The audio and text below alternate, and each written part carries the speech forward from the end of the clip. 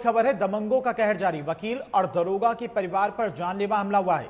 परिजनों को लाठी डंडों से जमकर पीटा गया है। मारपीट में तीन लोग गंभीर रूप से घायल हुए हैं। पुलिस ने घायलों को फ़िलहाल अस्पताल में भर्ती कराया है और मामले की जाँच में पुलिस जुट गई। हाथरस गेट के क्षेत्र नया बाँस का मामला बताया जा रहा है। तो हाथरस में दबंगों का कहर दिखाई दे रहा साफ़ साफ़ वकील और दरोगा के परिवार पर जानलेवा हमला किया गया है। परिजनों को लाठी डंडों से पीटा गया जिसमें कई परिजन गंभीर रूप से घायल हुए हैं।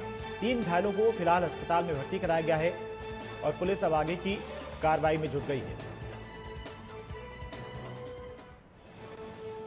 हाथरस गेट के क्षेत्र नयाबास गाँव का मामला बताया जा रहा है।